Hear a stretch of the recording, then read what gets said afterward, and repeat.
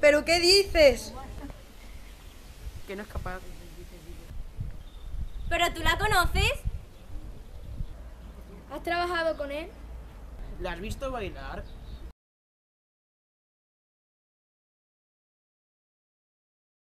Anda ya. Tú estás equivocado. Es mi amiga.